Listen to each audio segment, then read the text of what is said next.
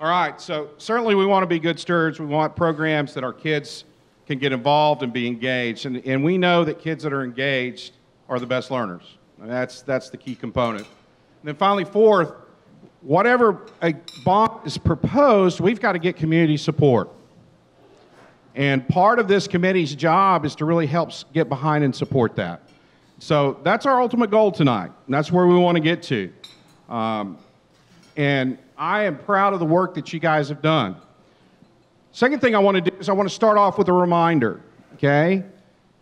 In 2016, these were the projects that, if everything had worked out right, we'd had our dedication Sunday, right, that we had to cancel, which, by the way, is now this Sunday, okay, at 2 o'clock. And all of you are invited. We'd really love for you to come. But we feel like we're at a point where we can celebrate all the Bond 2016 projects. It's part of the new Cleburne High School and the remodel. And again, you're sitting in the old library. That's where you're sitting tonight. So that gives you a real concept, I hope, is an idea of what a remodel can look like. Because I don't see this being the library. You guys are back in the conference room, you know, of the old library. So a remodel can really shape and reshape what you see and how a space is utilized. We renovated all of the old high school as part of the CTE program. Y'all have had a chance to see that. You are experiencing the technology upgrades for sure. Uh, and it's nice to know it was co-voice and not the Wi-Fi. I was not very happy uh, with that statement coming out uh, last time we met. We did a Cook remodel and a Coleman remodel.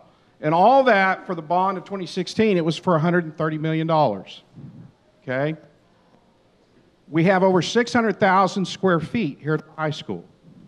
So we more than doubled the learning space from that bond.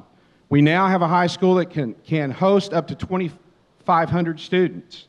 So we built it certainly with the future in mind and growth in capacity. Okay? So for the May 2021 bond, that group in 2016, raise your hand if you were on that committee.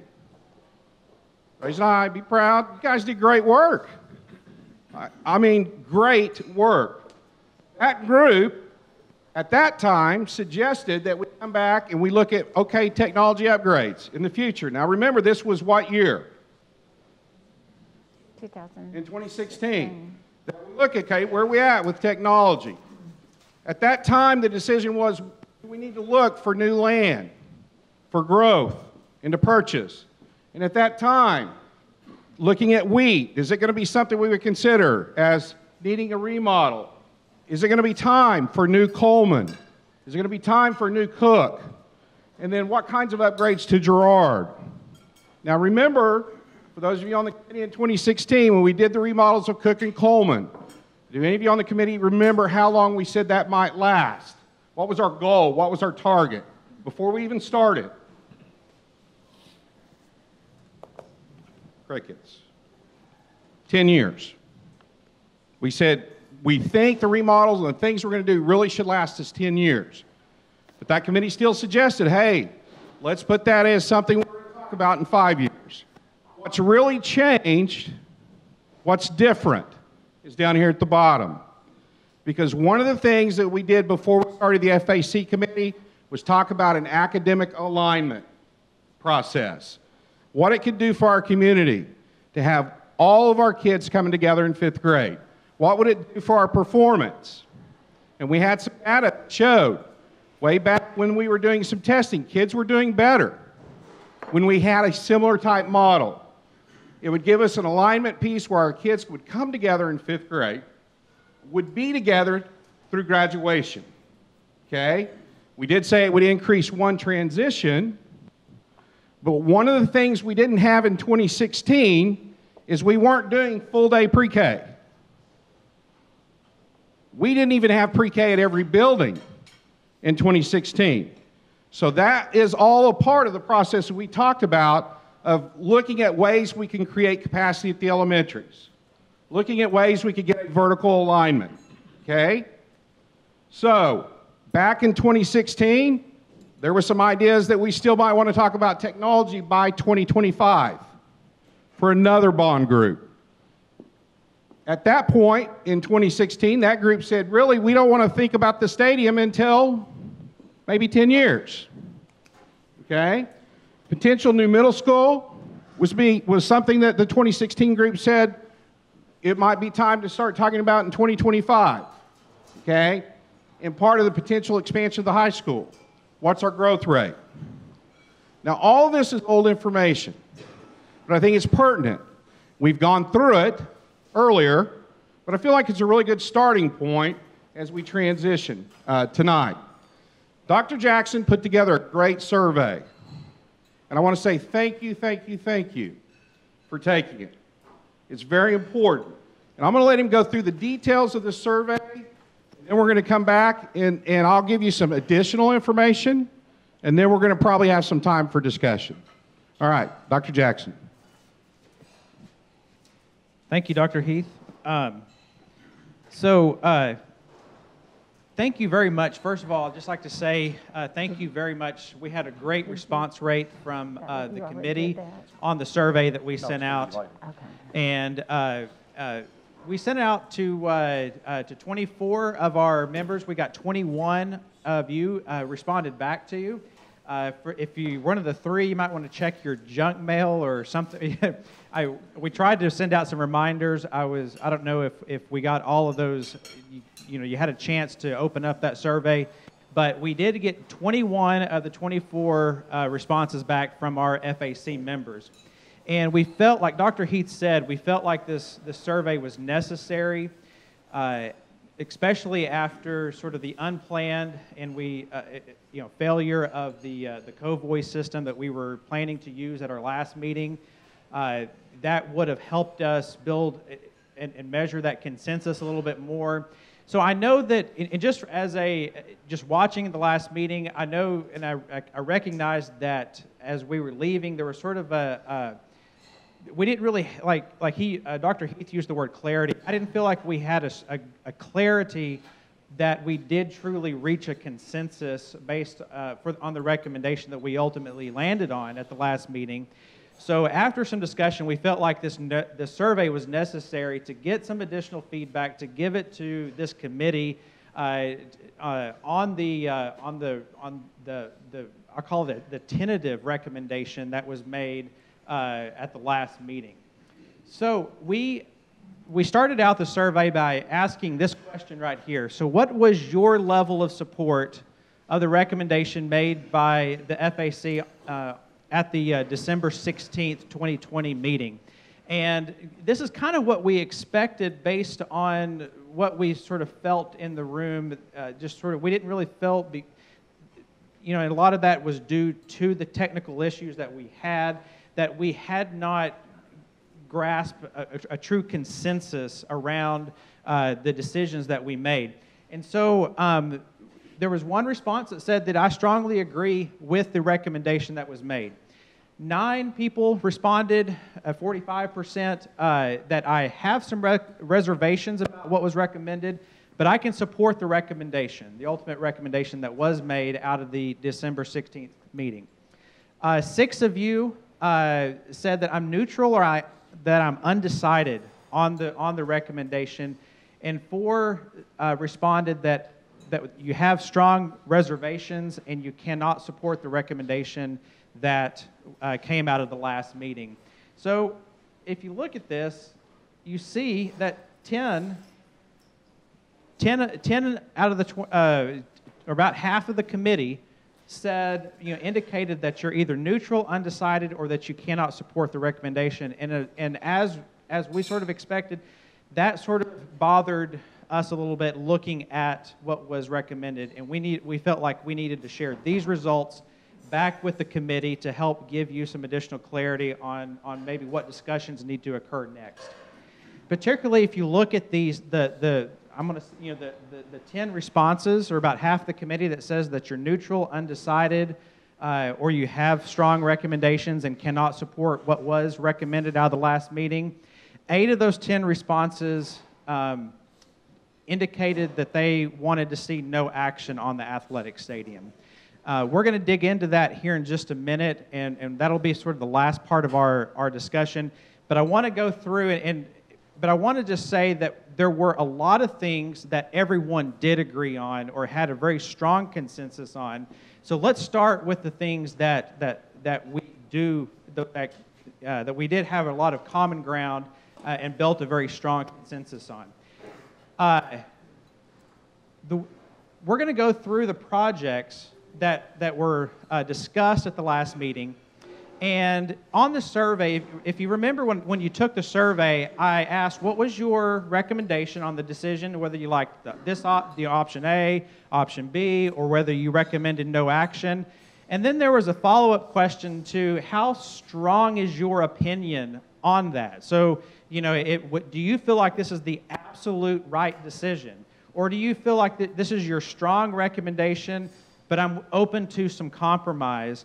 Uh, or is your choice like, you know, in the end, I could really live with either one? And, and this is sort of a great exercise to do if uh, kind of a great example to use with this is, is, if you and your spouse are ever discussing where to go to uh, where to go for dinner and and your spouse may say something like this hey honey where would you like to go to dinner to dinner tonight and you say i don't know uh, chili sounds great and then Chili's really? Why would you want to go to, you know? And so, so you can kind of see, and, then all of a sudden, your, your strength of opinion got really small. And believe me, it's like I'm open to compromise. And so uh, this is kind of a, you, you think about that, you kind of think about it in those terms that you know you, you, ask an opinion you know what your what is your recommendation and then how strong is your opinion on that recommendation so uh, and that sort of helps maybe give us a little bit uh, greater clarity in the, in the recommendations uh, that, were, that, that, that did come out of the survey. So, uh, on each project, I asked uh, each one of you to give a priority ranking uh, of one, two, or three, and that's the same scale that we've been using in our discussions. So, uh, so for each project, you indicated it is a high priority and it got assigned a value of one. Uh, if it was a medium priority, it got us, uh, assigned a value of two, and low priority, a value of three. When I took the, the averages, the average priority uh, rankings of, uh, of all the projects, everyone that took the survey agreed that wheat was a 1.0. There was not one single response that said that it was a two or a three. So its average score was a one, which brought it to the top of the priority list. Okay, there we go. My, my apologies. Um, all right, so there we go. The, the, data did not change significantly, but there was, after factoring in uh, a, couple of late surveys that we, that we got in, uh, I, these, it did slightly change the numbers, and I, I quickly realized it on that last slide. Wait a minute, just some of those numbers were just a little off. Uh, but from what I just presented, these, these numbers are the, the rank order is still the same. That did not change. Just some of the decimals on the averages changed just a little bit. Uh, so still, wheat at a 1.0 at the very top. And then you, you get down to uh, the, the district net, network services at 1.5. Um, the Performing Arts Center, that's a little bit closer to two. And then below two is the, act, the Student Activity Center, the multi-purpose indoor facility and then the athletic stadium uh, was came in uh, on the priority average at 2.57. So that is a great visual to help you sort of keep in your mind what the committee feels from top to bottom is the, the highest priority, ranking it to the lowest priority on things that, that we should consider as part of the, uh, the, the bond proposal. Now, let's go through each of the projects. And this is, the, this is one that we had, everyone said this is a priority one. No one disagreed with the fact that it is a, anything less than a priority one.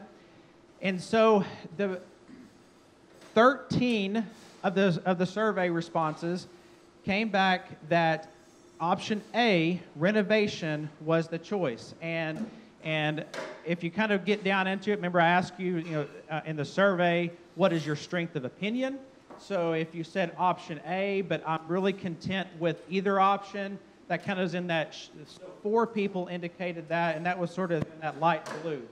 And in this darker blue, four people said, I feel like this is the absolute right decision. This is, I have a very strong strength of opinion in my recommendation for option A. So I just wanted to kind of go over to sort of interpret what the, the different shades of the color mean. It sort of helps you sort of visualize what the strength of opinion is for the people that selected option A as, uh, as their recommendation.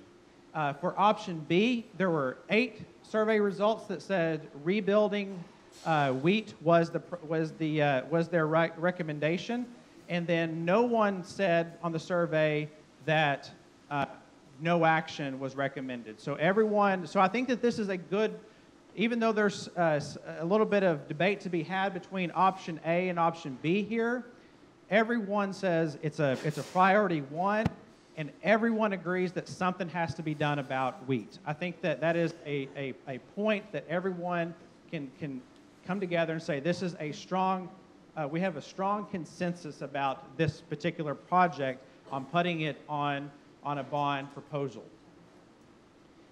Uh, on the Smith middle, and I'm going to you know, use quote intermediate uh, with the grade alignment, option A was the, uh, was the, the highest uh, recommendation uh, at 13, uh, 13 people saying that this is their preference. Eight of those 13 says, I feel absolutely that this is the absolute right decision. Uh, option B, uh, seven people said that that was their choice, and one person recommended no, no action on, on the Smith intermediate proposal. Uh, on the Don Smith Performing Arts Center, three people recommended no action. Of those three, uh, you know, two were saying this is a strong recommendation, and one said that this, I feel that this is absolutely the right decision. Uh, option A, we had seven uh, members, committee members recommend option A. Uh, we had 10 recommend option B, and one recommended just an HVAC only option C as, as uh, work that needed to be done to the, to the PAC. On the Student Activity Center, at the top was no action. Um, eight people recommended no action. You have seven people that recommended option A. Two people, oh, sorry, three people option B, and uh, sorry, three people option B, and three people with option C.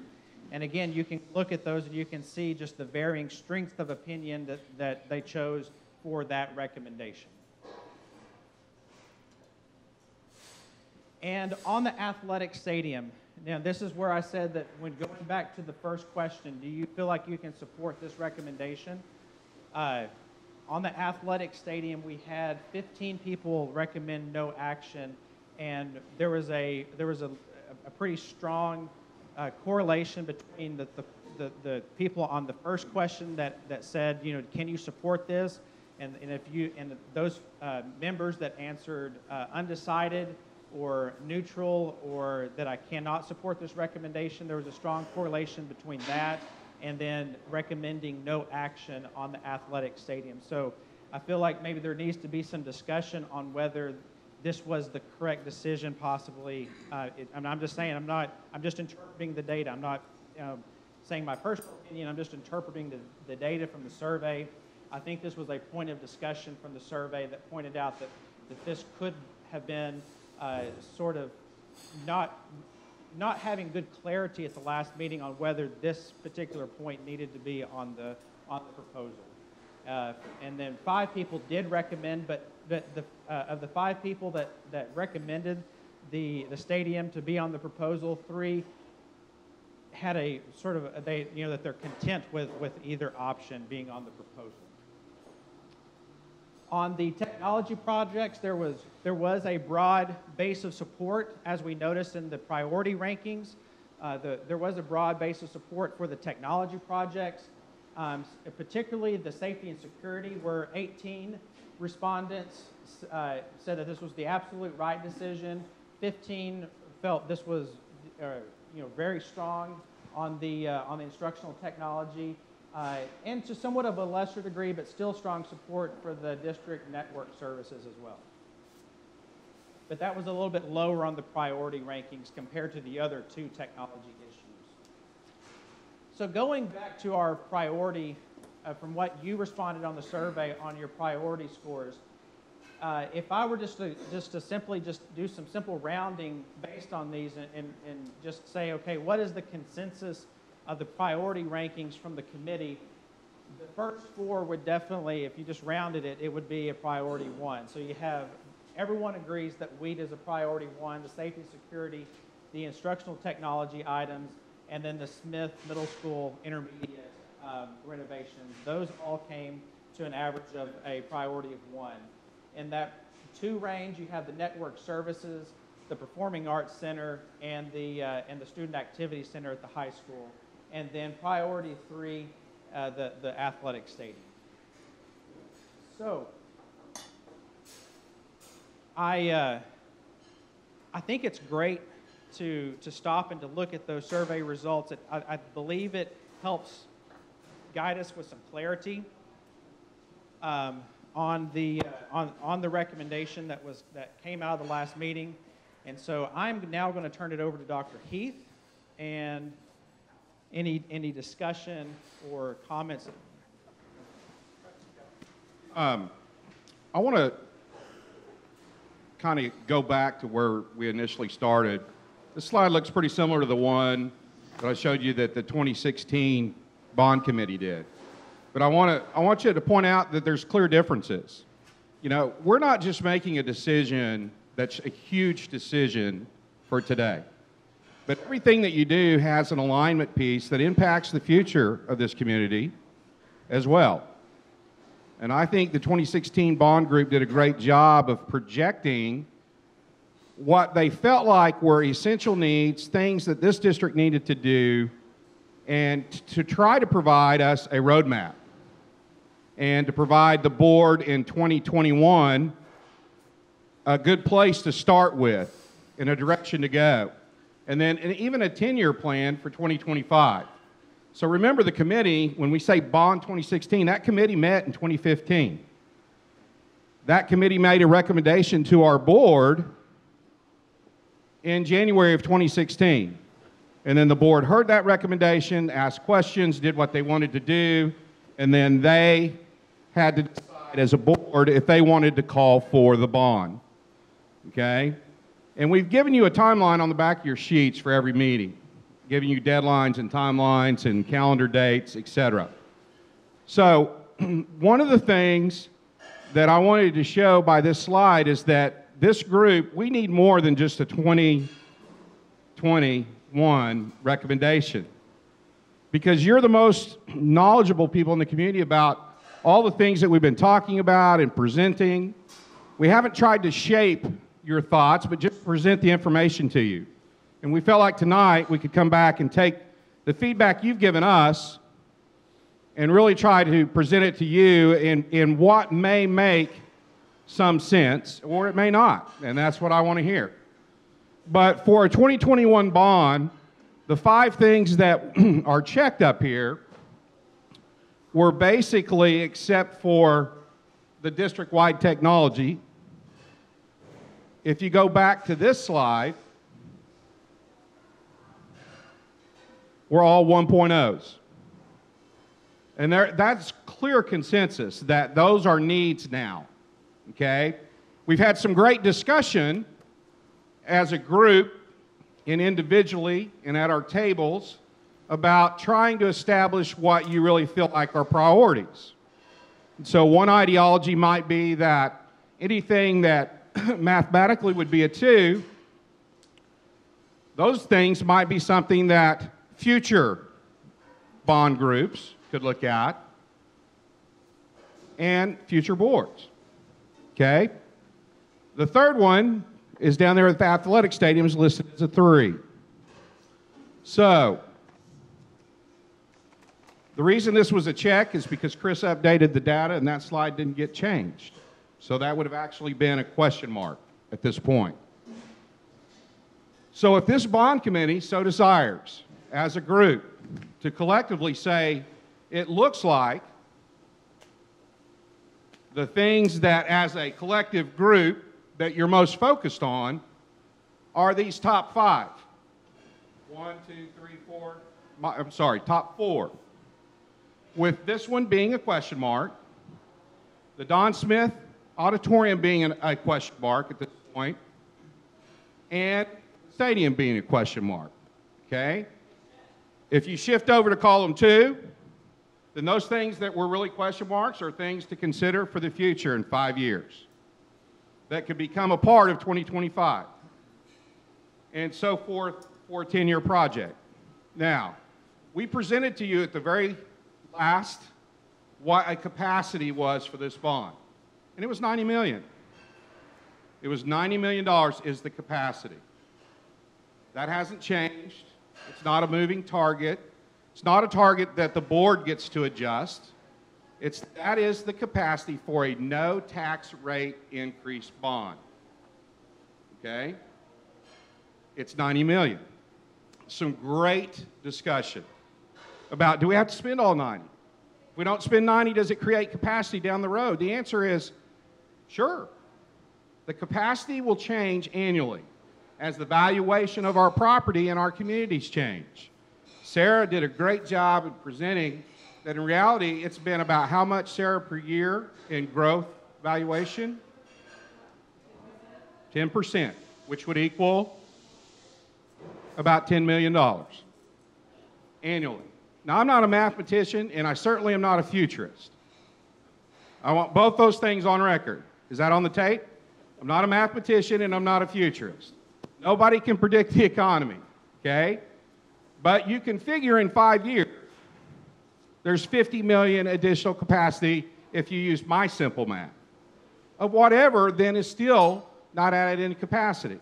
And again, those are estimates. We really won't know anything until this committee makes a recommendation, until our board decides they want to go for a bond, what that bond would look like, and then most importantly, the voters approve it. And then, even after it's approved, the bonds have to be sold. Then we get a better picture. Okay? But I want to remind everybody of those things. All right. This has been in your notebook every week. We've talked about it, and we've talked about what our ideas were to get to consensus. We put up an idea that says the top four certainly are things that we feel very clearly equal that one. 1.0. Rounding, doing math. The three things below were at 2.0. Okay, based upon the survey results, and the athletic stadium was at 3. Now, I want to give you about two minutes because you guys are not at your normal tables. And I also want to respect each other, and I want you guys to talk to each other. Okay? Parent share. Talk to each other. Talk about what you've seen presented, what's been discussed. And then after that three minutes, we'll come together and say, hey, questions, thoughts from different groups. Okay? Everybody that's in here is a stakeholder. This is important. Everybody that in here, that's in here is a stakeholder. And your input is valuable. Three minutes. Begin. Okay, it's three minutes. Um, and I want everyone to hear what Mr. Archer said. This is the spreadsheet that originally that's in your folder. And I think most of you probably have a calculator. But just for chagrins and for everyone's uh, sake and information, I'm going to ask Rick to go in and say, okay, did yes to the things that had appeared based on the survey, okay, uh, of those four. So athletic option C was, was not on there. You can scroll all the way up if you want, Rick. Okay, just to, just to show you, we're not skipping anything that's at the top that's of value. Okay, the PAC, the PAC, and the PAC were listed by consensus as two okay? Not ones, not priority ones. As we go on down, the athletic improvements for A, which is the Student Activity Center, okay, are the athletic improvements that were listed. So just to make sure there's no confusion, this is the Student Activity Center that's listed on this sheet. It's the indoor student activity center is listed on this sheet as athletic improvements options A, B, and C. And based upon the survey, that also ranks a two.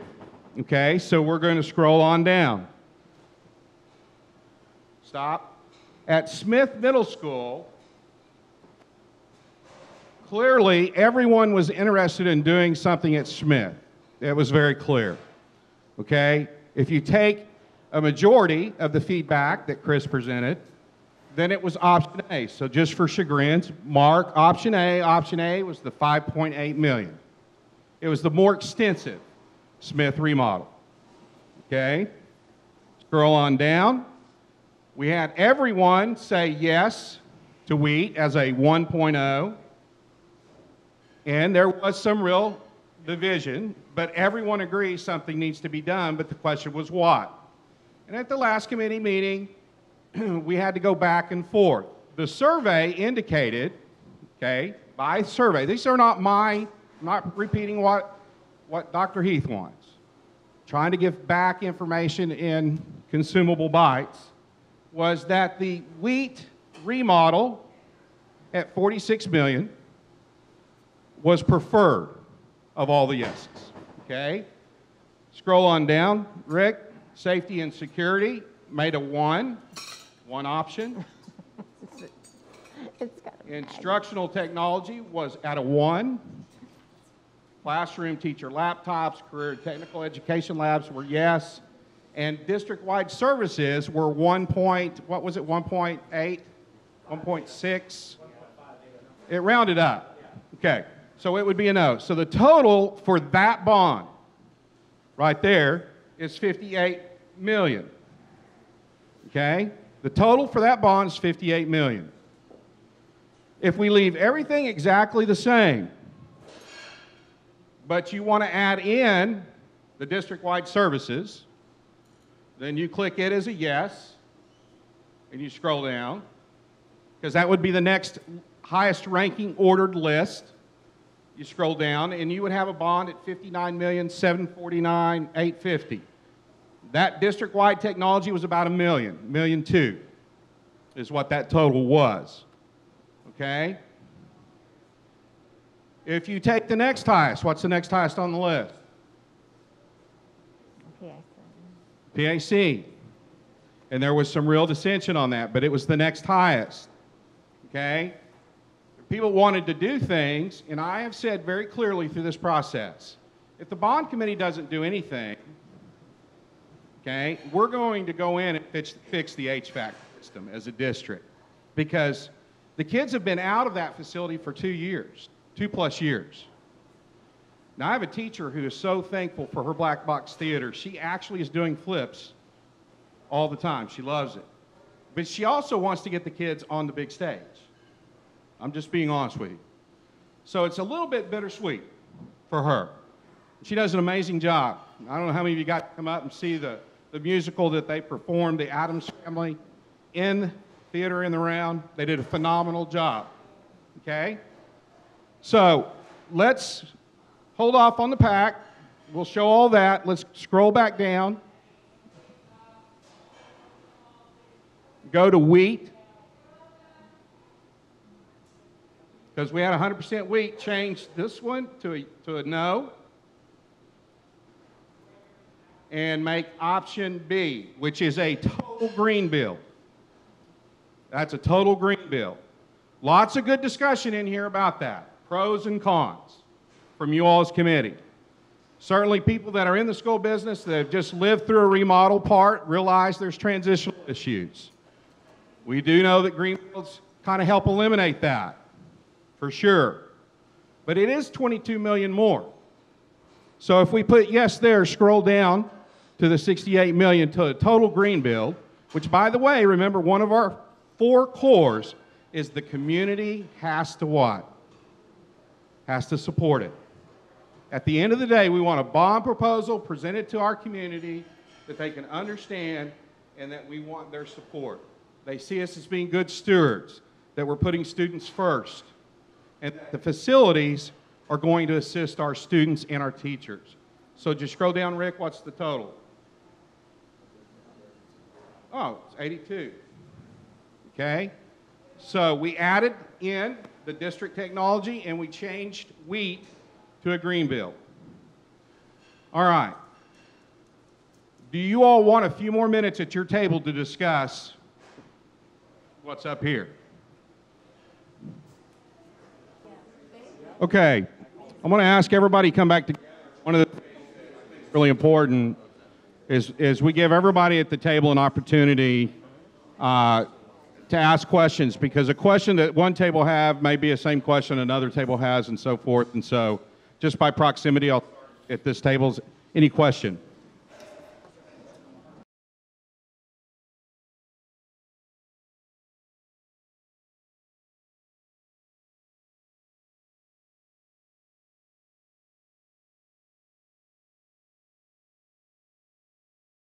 Yeah, part of the part of the new build for wheat being built behind the uh, existing wheat is that middle schools need space. They do they do need facility space. They need field space uh, for outdoor activities.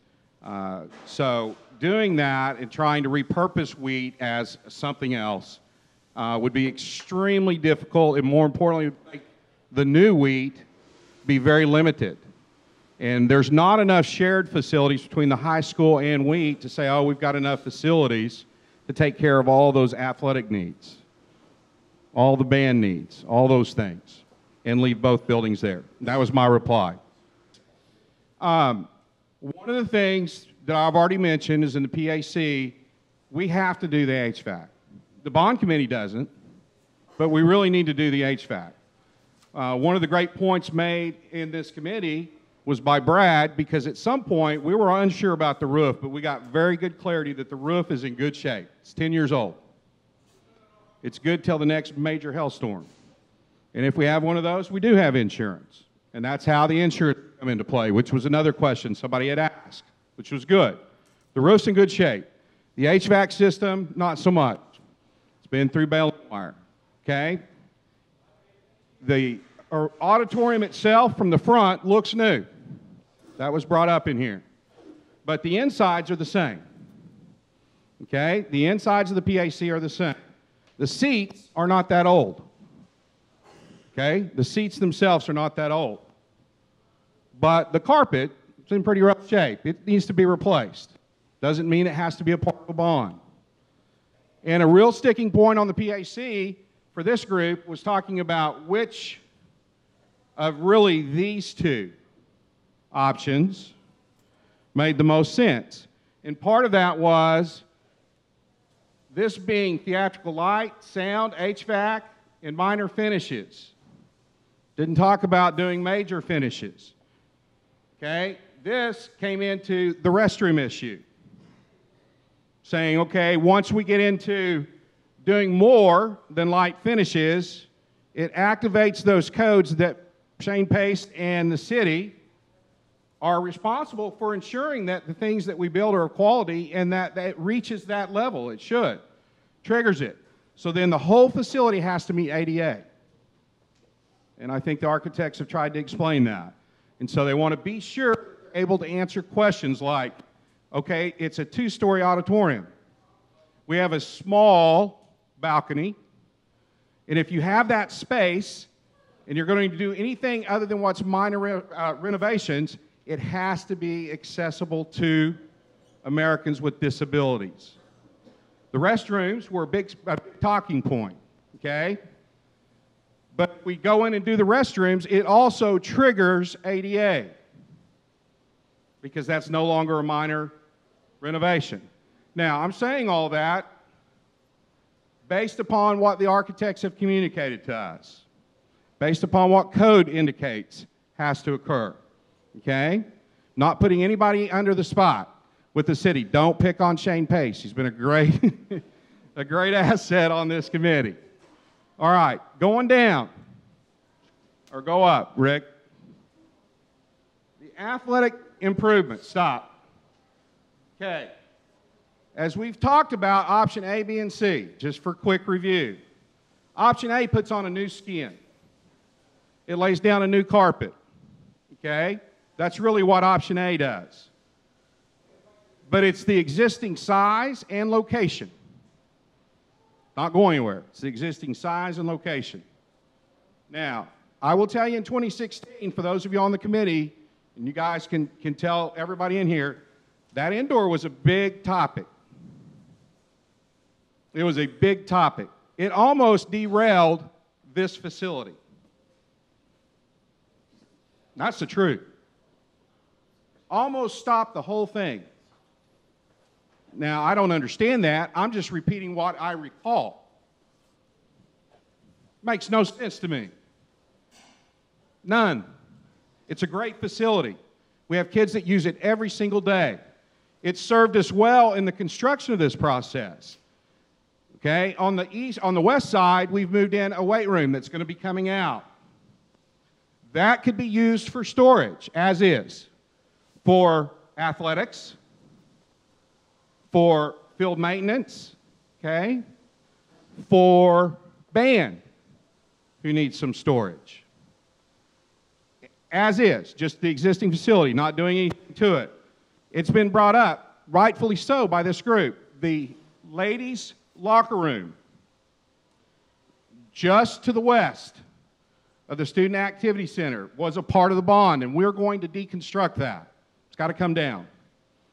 Okay? It needs to come down for student access because we have always intended for the students to be able to access the building from where? The parking lot, where the parking lot is out there.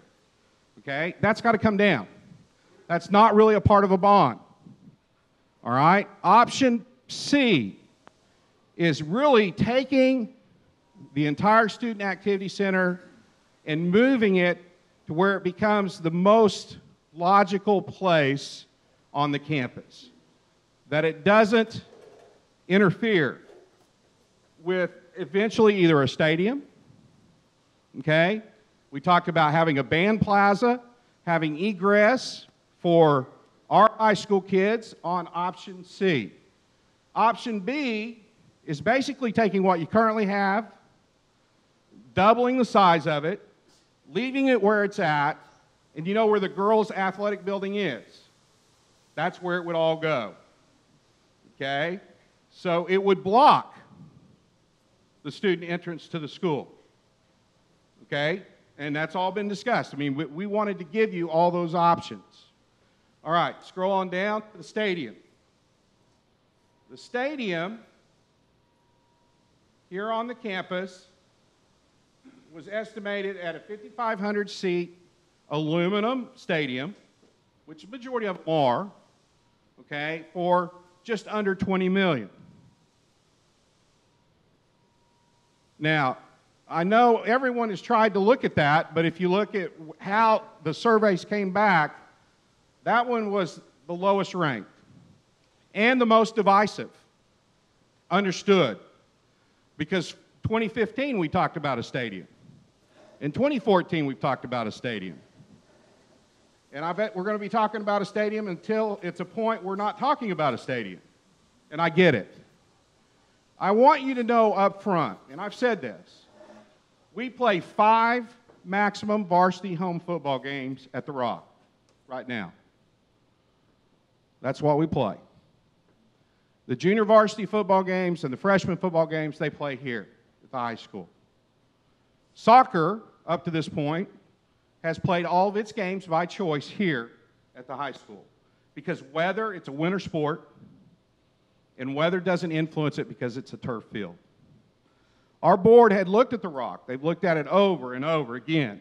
It is a protected historical site. There is not going to be an answer for parking. It doesn't currently meet ADA, the stadium at the rock. There's no long term solutions there. But we have learned that eventually we could, even though it would be very tight, have it here.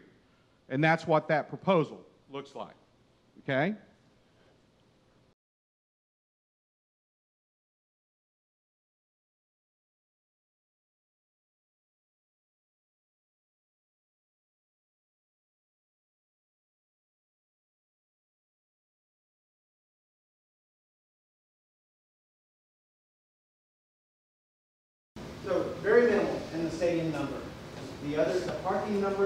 Parking cost is dispersed throughout option A, B, or C of the athletic improvements because we free up spaces if we move the, uh, the um, activity center.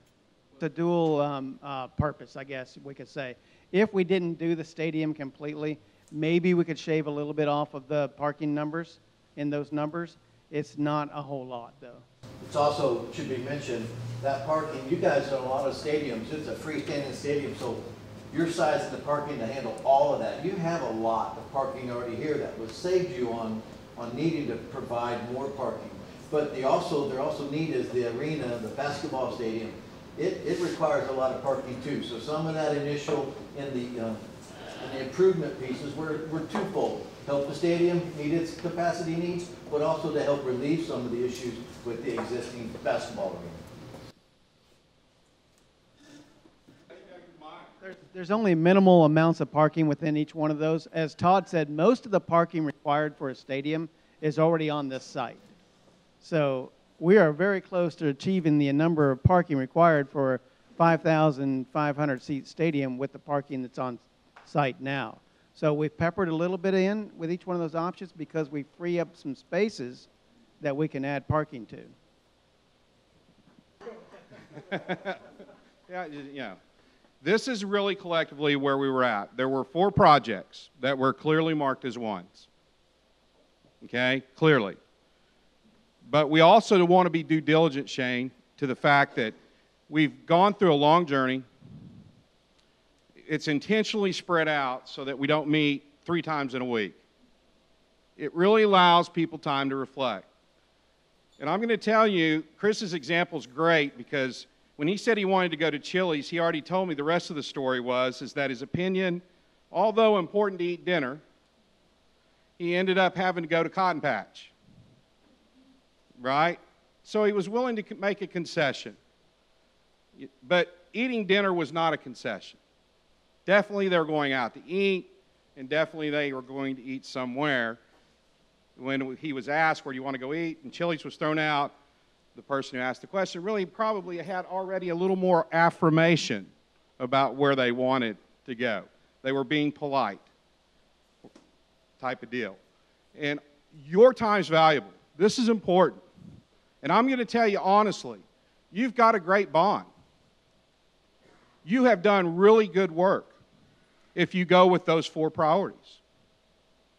It also simplifies one thing. It lets you down to making a decision, really, in my mind, based on what I've heard of those four on wheat. One choice rebuild or remodel. And by far, remodel was the majority of the group's interest.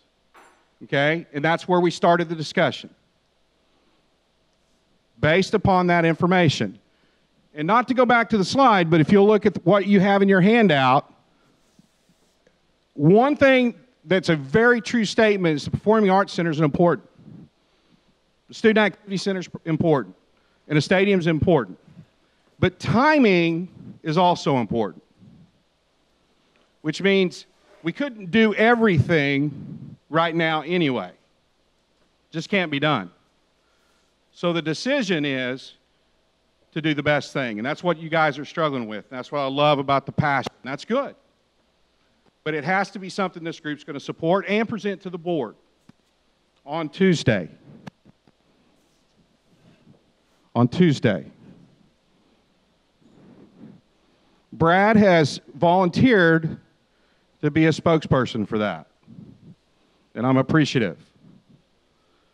I would present it myself, but I can't. It has to come from you as a committee. Does that answer your question? Okay. So, to me, based upon going back, the one most important decision left on the table, and I understand that what it's doing is that decision's choosing other projects or not choosing other product, projects. That's part of the struggle. But to me, it's about making the best decision for your middle school, for your children you believes in their interest. Hopefully, as a committee, you can see a remodel can turn out great. Because it can. And that's not chump change for a remodel, 46. It's also 40,000 square additional new footage. Is that correct? 40,000 or 60? 40, wasn't it? That was presented for that amount of money. It's 22 million more for new. Comments on that?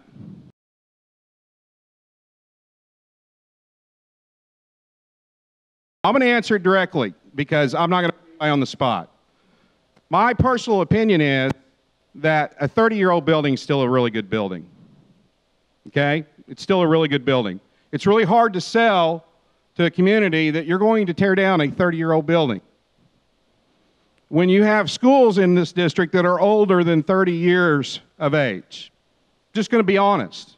You ask my opinion, I'm going to tell it to you.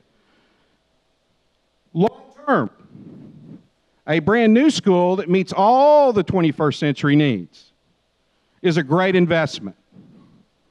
It is a great investment at today's dollar, right? Not talking about interest rates or whatever, but a new middle school in 10 years is going to cost a lot more than a new middle school will today just because of escalation and cost. So, what is the need? What's the most important thing?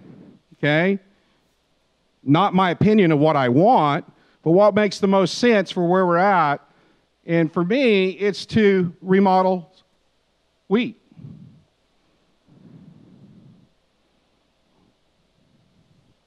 But 25 years from now, if that's the decision this committee would make, they're going to go, man, they had a chance to build a new one. That's the world, right? What makes sense today? What makes the most sense? What's the easier sell? That, that's probably an easier sell, and that's just my honesty. My preference, new. I like new homes, new builds, new codes, less unknowns, less disruptions. That's the straight answer. Okay. Other questions?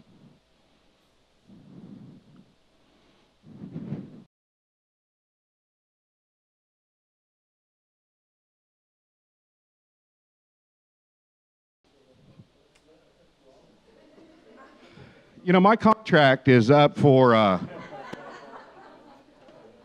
if you ask me, I will tell you, okay? Because I think that's a very fair question. I think leaving the indoor student activity center where it's at is a big mistake. Just tell you, I think it's a mistake.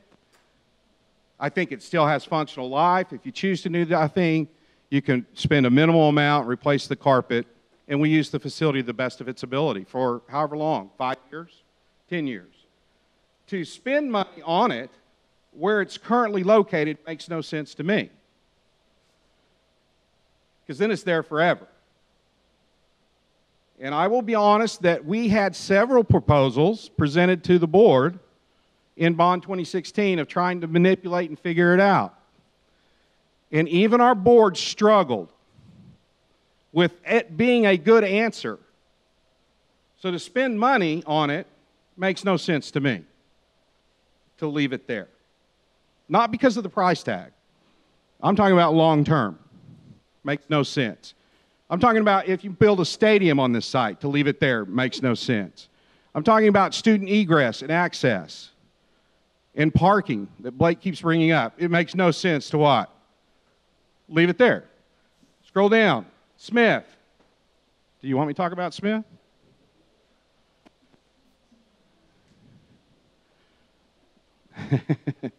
Smith is a critical component as an intermediate school. And I don't think either one of these are bad. I really don't. I, think you, I don't think you go wrong. And I think doing the serving area and the cafeteria is essential to really make that campus flow. It's not a great design where the way it is now, you guys saw the sunken pits, the serving lines, and that stuff on the tour. That needs to be fixed. But if you spend a little bit more money, I think you can do more things. And so I don't think there's a bad answer there. I really don't. And I think as a group, you guys made a consensus really clearly on Smith. And a lot of people are going to support this bond, guess where they live? But one thing's for sure every child in this district now will go to Smith. And now every child in this district is going to go to Wheat Middle School.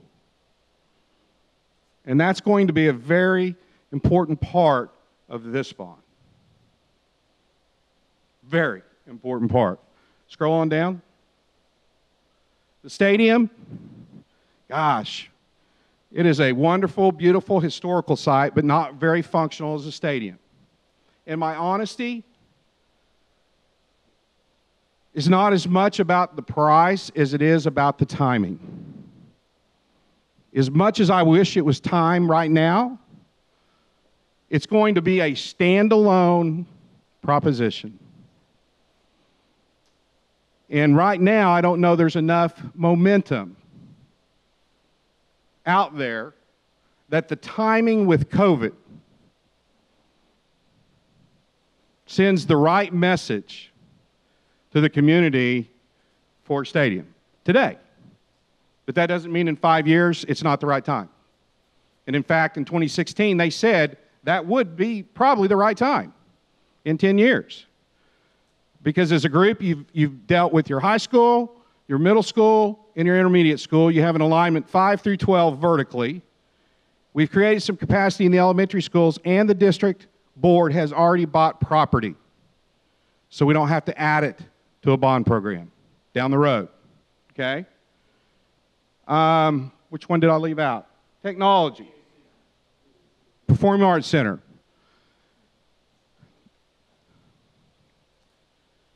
I personally think if you're going to do anything in the PAC, you do it right. And you do it once. And you don't put a band aid or lipstick on it and say, we're going to come back and talk about it in five years. Personally, I've never believed that's what you do with taxpayer money. Ever. You value it, you do it right, and there in turn, they say they're good stewards. They're going to do what they said they were going to do. The, the community will deliver on the product. That being said, my heart bleeds for the theater arts teacher. it does. She's got a great program. Those kids have been displaced, truthfully, for two years. That means last year's seniors did not have an auditorium in theater arts for two years. I'm putting it in kids' terms. And it would take another year to go in and do major renovations. But to be honest with you, if you ask me my opinion, they need to be done. But you do it right. And that's why I don't think it's a bad project to wait for what? Five years. Let the kids get back in it. Let's let them tell us what their needs really are. It's very important. And it's very functional as long as we fix what? The HVAC. I'm not going in it without the HVAC. Just saying. Okay? But in all seriousness, timing. This may not be the best time. My opinion, whatever it's worth. What have I left out? Technology? Student technology and instructional technology, I'm a huge supporter of it. We wouldn't be where we're at today without 2016 support. Not even close. Huge supporter. We have purchased every child a brand new Chromebook this year. We've met the expectations of the bond of 2016. We exceeded it. We said one device for every child, eighth grade through 12th. We're pre K through what? 12. We've replaced the devices. So, I, but I, I do believe it's part of an ongoing growth.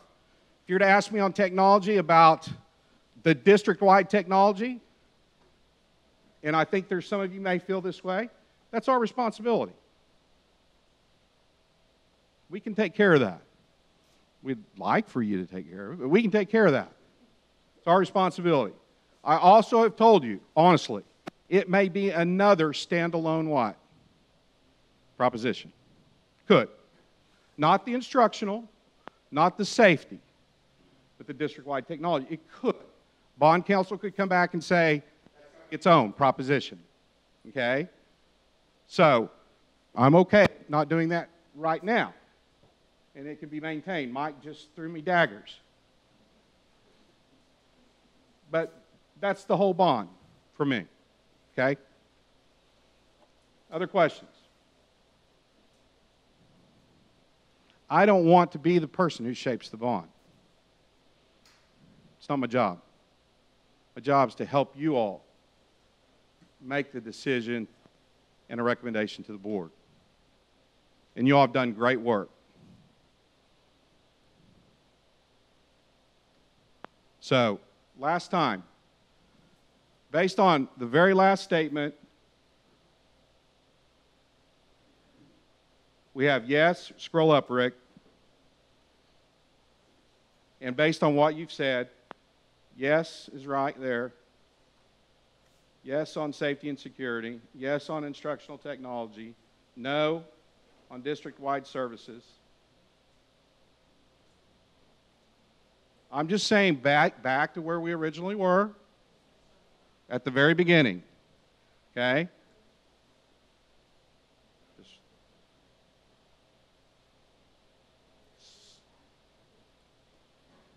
Do what? PAC still on there? Make that a no.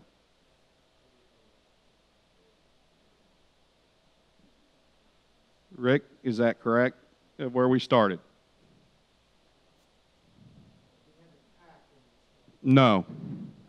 You did not. It was not the top four.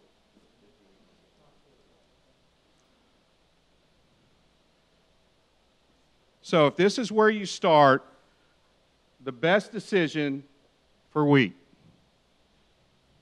is the most important decision that this committee can get behind and, and, and sell. And I'm trying to help the board too here. Because the committee, we need your support. There's not a wrong answer. I love it when I get told that from my teachers. There's really not a wrong answer. There's not.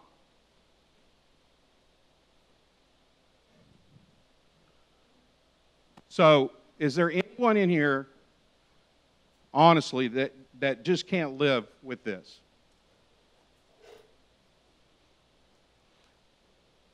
I want to hear it.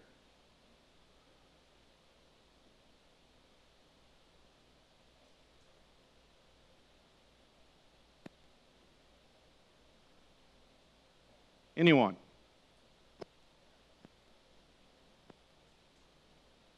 Is there anyone in here who thinks this isn't the best top four decisions?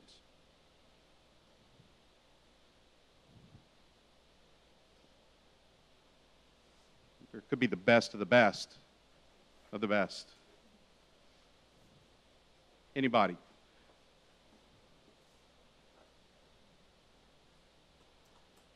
Is there anybody in here who thinks there's something that we didn't put on here that needs to be a one? Right now, needs to be a one. Yes. I think the rest of the technology, yeah.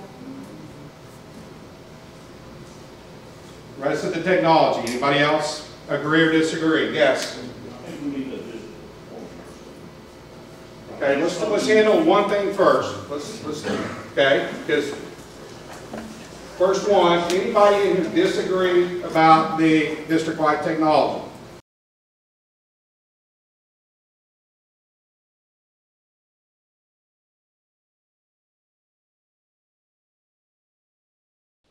That is correct. What I said.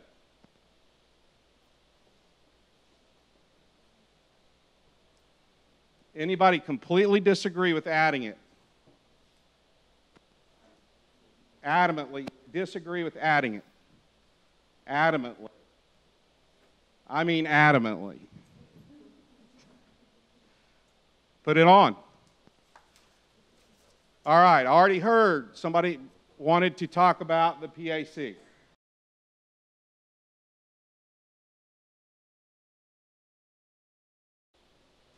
Absolutely. Other comments?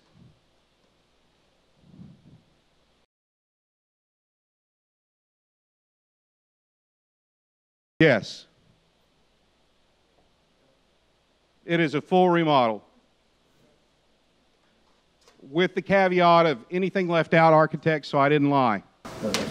So it does the acoustics, I mean, that's another piece, the ADA issues, everything, that, option B for the eight point five will bring it up to make it State of the art. state of the art, Okay. within the existing shelter. That's right. Other comments? Yes.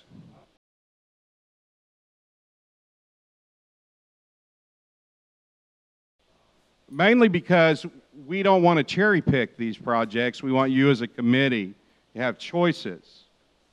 And for y'all to tell us, uh, present the information. You guys are community people. What do you want to do?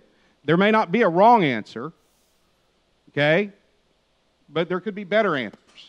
But you have to decide that for yourself.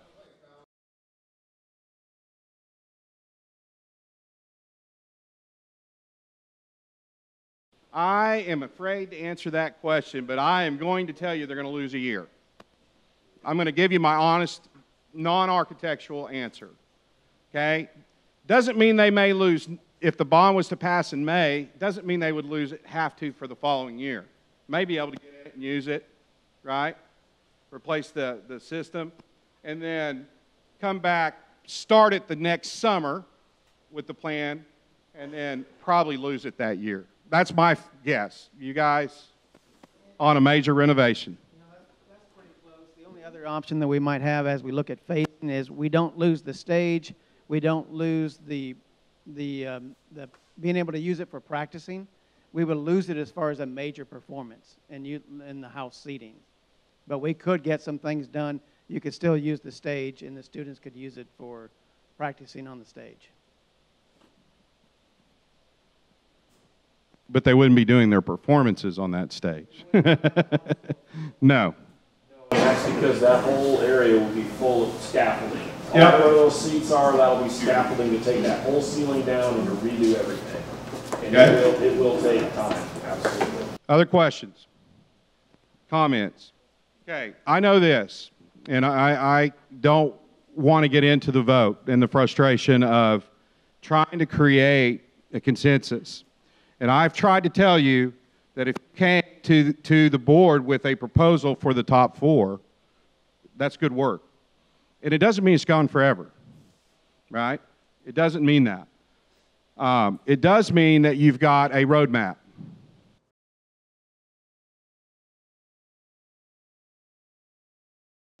There was a capacity. It all comes back to how much money you could spend, and you were at your capacity, and there was not more room to add the inside of the PAC. Okay? And if you recall, we had talked about increasing the size of the fly loft. And I talked to you all as a committee about that.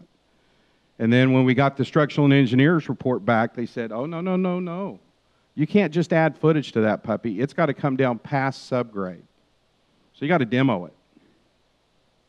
That was never even part of the discussion, okay, in the bond or anything else. And that information wasn't known until after the bond had already what? Passed and we are doing engineers' reports. Okay, so I'm going to go back to priority, and, and I think the most important priority up here is Wheat. And, and it needs to be the first decision, because you have said that's your first priority. Right? You've also indicated in the survey that a remodel of Wheat's preferable.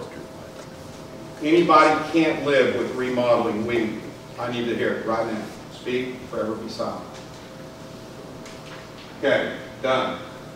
Next, Smith. Anybody disagree with the 5 million? We've already gone through that, right? Check, good. Safety, security, instructional, no need to revisit it. The next one really is then district-wide technology. That really is the next priority. Anybody not want it, or anybody adamant about not wanting it? Okay, so if we're in there, we're at 63,679, and so I think the next priority, and correct me, Chris, if I was wrong, was uh, the next priority is this PAC. So you guys have hit it just right, right in order. And we've given you the option to do nothing. We've given you the option to do a minimal. We've given you an option to do what I call a middle to less than middle, or to do it right. And we've had good discussion. And I do think that it's clear that you wanted what I'm hearing is option uh, B, if you're going to consider it. If you're going to consider it now instead of five years from now as a committee. Okay? That's what I'm hearing. I'm not trying to disrespect anybody in the room. Now, I think you had a great bond before you got to the PAC as a committee. I do. So I want to be crystal clear. But as a group, the board's going to want to hear from this committee. Okay? So is there anybody who doesn't want to address the PAC in this bond? You'd rather do it in five years or 10 years? Because we can.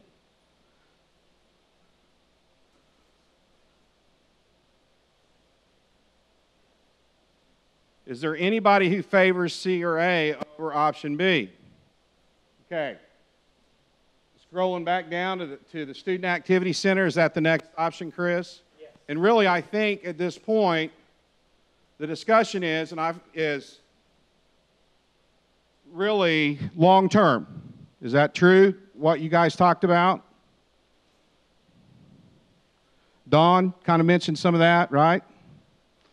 And so to me, the option is, is C. And if you did option C, long term, then you're at what?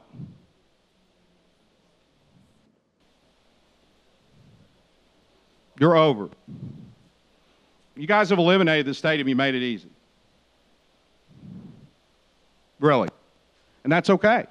Should feel good. That's maybe something later on. So I think this is the last question before we move on. This is the last question tonight. Feedback. Student Activity Center. The indoor athletic improvement options.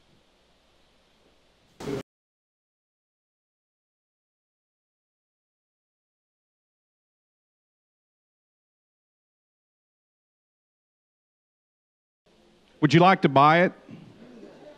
It's got great steel in it. It has to go away.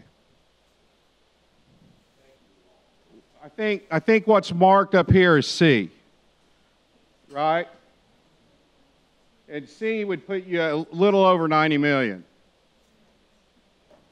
So the question is, for, for, for the sake of argument, the question and now, and the only question left, now or in five years, give the next committee something to look at. That's the real clarity here. The real clarity, okay? And because you're really on your sixth number two, right? You got your other number twos in there. So it's 90 million or it's, take it off, Rick, 68. Is that right? And some change? And both are good. Everybody, anybody disagree with this right here? 68, 274, 249, and it's adamant that we need to add option C. Or option B. Or option A. Somebody has your hand up. So we we definitely could be right at 90 million with option C.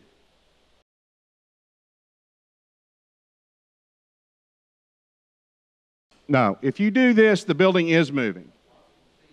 It's going to move it away from the high school building. No, it's a great question. I clearly want you to understand. It is moving it away. It puts you at your cap for sure.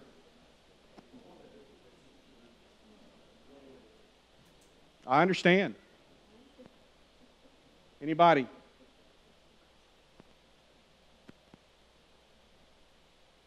Anybody? At the end of the day, is, is if this is taken off, is anybody going to feel like you're missing something?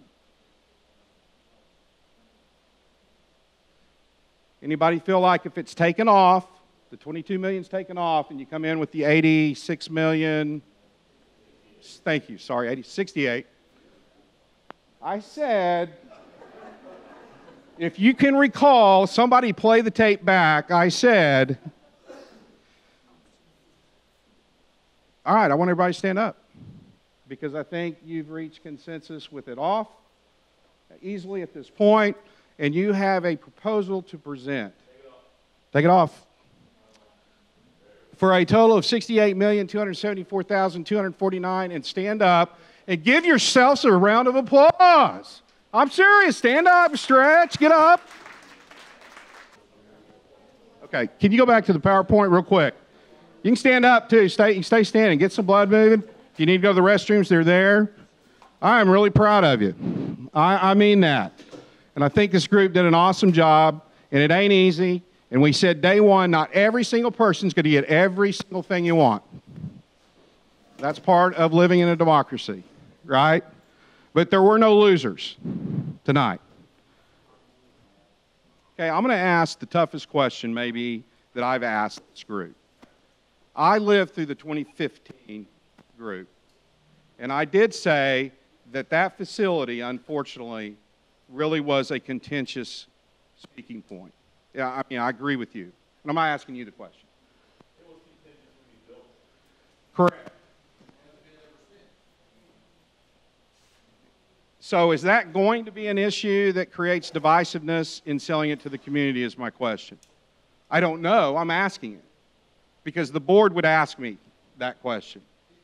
Is anybody adamantly opposed to putting it on the bond besides Brad? So we have dissension. The, the 22 million.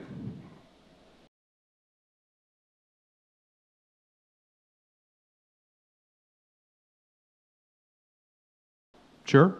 Any architects want to address that? You haven't said anything you'd want to say? It's going, going? Okay. So when we look at the cost of a stadium, we're looking, the cost of this stadium, we're talking a press box and bleachers. Most of the parking is already on site with the high school. As Todd said earlier, that's one of the big proportions of a stadium. The track, the field, and all the other utilities that go to a stadium, they're already on site. So we're paying for a press box, and then we're paying for bleachers only. And we're only paying for 5,500. If you look at comparisons for other stadiums across the state, a lot of times you're at 8, 10, and 12.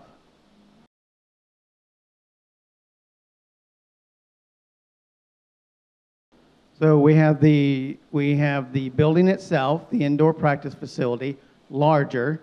We have two practice fields or one? One practice field, a little bit of additional parking and paving when we take that building out. We have areas where we can add parking and we can add a little bit of paving also that helps support whether there's a future stadium at that point or not when you do see or not. You might as well fill that area in and it's a master plan concept. Then also the tennis courts. It does, it redoes, and it, it, it, it totally redoes and moves your tennis facility over to the wheat. Yes, it does. That's correct.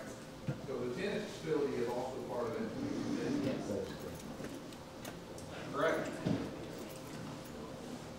Dr. Heath, one thing that hasn't been brought up as I've listened to the committee talk about the- both the PAC and the moving of the Student Activity Center are the communi, are the pieces of the community that those touch. Uh, If you, if we don't do anything for athletics, then we have an entire group of people who may not be excited about the bond.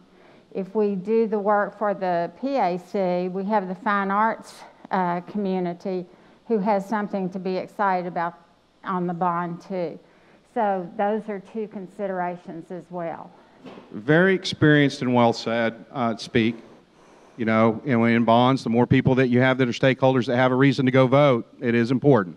Because a lot of times apathy can run the bond. I mean, people just think, hey, it's going to pass. Hey, It's a no-brainer. But the more cause they have to get to vote, that's well said. The more turnout you're going to see.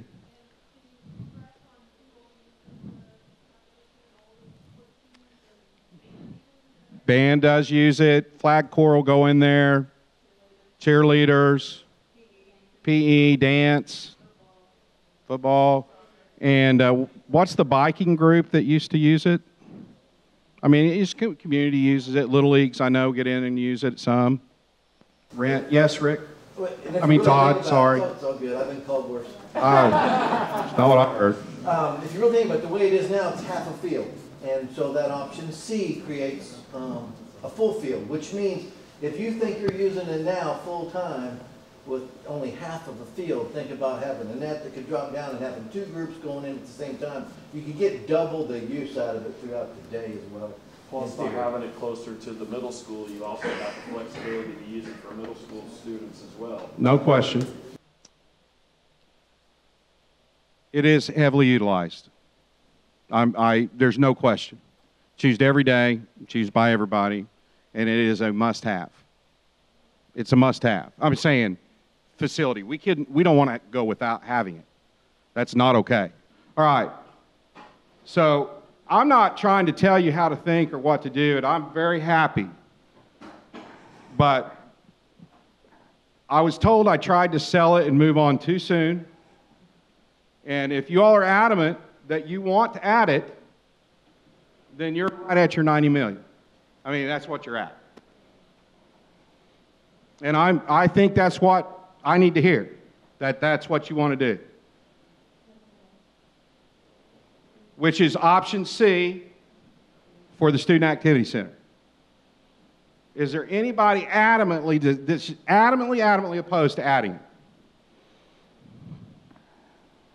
Two, three. Okay? All right, anybody adamant it needs to be on there? Anybody adamant it needs to be on there? Adamant, adamant people. You don't have to say, or you raise your hand if it's adamant, it has to be on there. You want it to be on there. Anybody? On, you're adamant it wants, you want it on there. Anybody else? Adamant, adamant, adamant. Anybody else? Needs to be on Adamant, adamant, Tara. Anyone else? I'm trying to do it where we don't have to call for a vote. Do y'all want me to call for a vote? Anybody not want to call for a vote? Okay, Paige. Um, everybody have a pen at your table and grab the very back page of something in your notebook and create a little piece of paper. If you're on, if you're committee member, and you can put, here's what I want. I, here's what you need to put. And we're going to count the number of ballots. Hey, the, the question is yes, you want to add, yes, is what you have to put if you want to add it, and no if you do not want it added. So the presentation will be at this Tuesday, next Tuesday's meeting from this committee. Okay? It will be made. And please, all of you, feel free to come. We want you to come. All right? It will not be voted on by the board at Tuesday's meeting. It's presented. The board may ask clarifying questions, or they may seek people on the committee that they need to ask or hear from. And they have that privilege. And I want you to know that. And then once the board does decide to call for a bond, there are some clear do's and don'ts, okay, for district employees, whether you're on the committee or not on the committee. If you're a district employee, you're always a district employee, okay? But you get to have an opinion up until the time the bond is actually called. And then don't ask me my opinion. All right, I'm going to turn it over.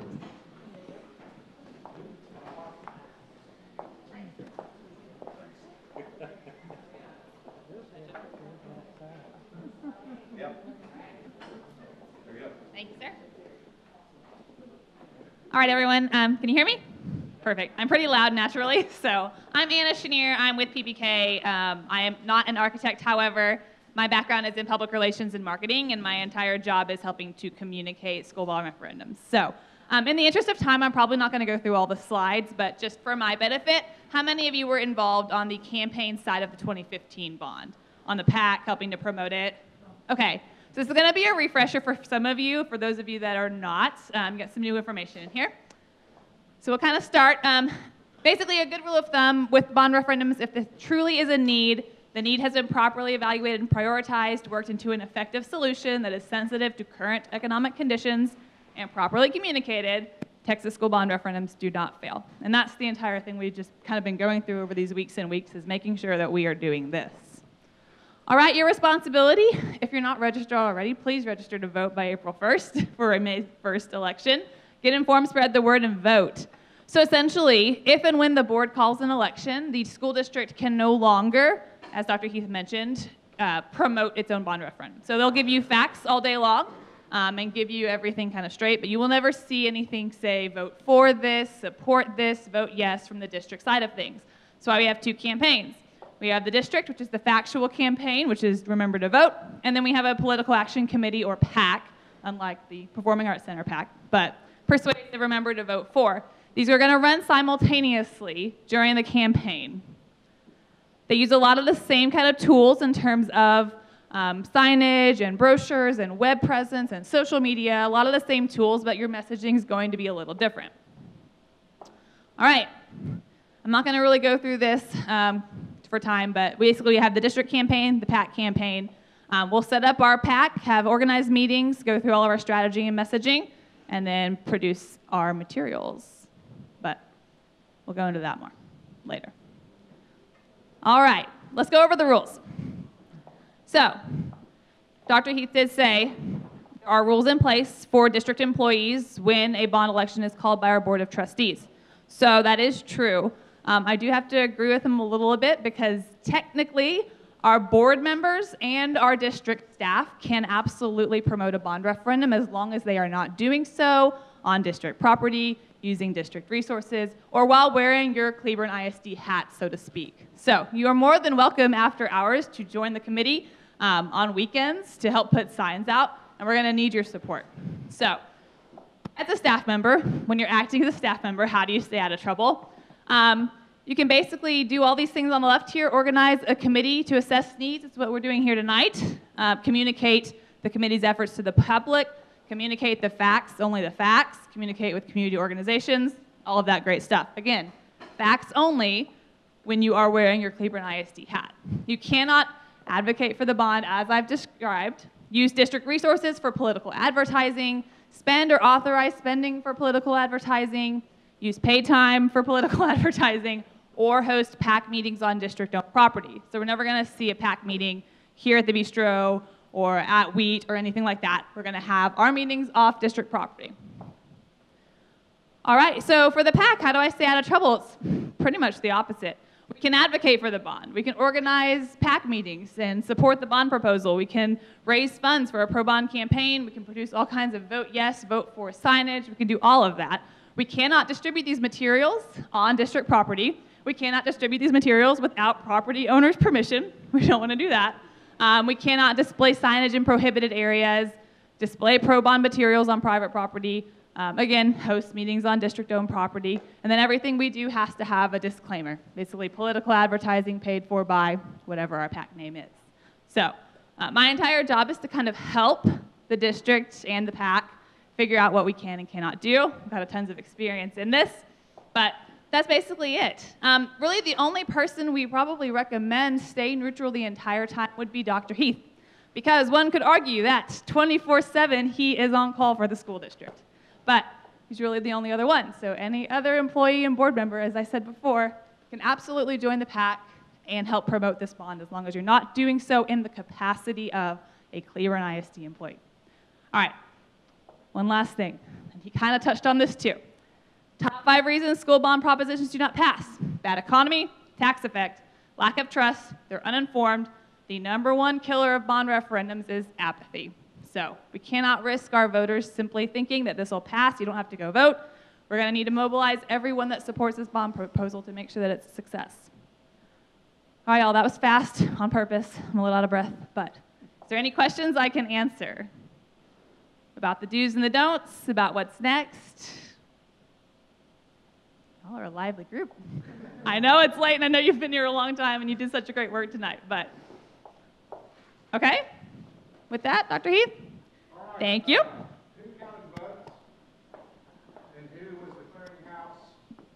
what was the vote? So 12 yes to add the Student Activity Center, option C. Okay. So clearly the ayes have it.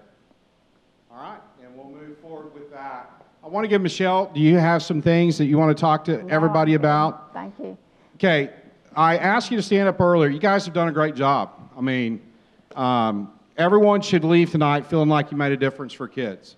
Now, it's just the first step, and nothing matters if the bond doesn't pass. Um, nothing matters if the board doesn't call for a bond.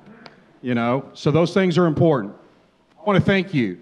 I mean, it's never easy. It's not.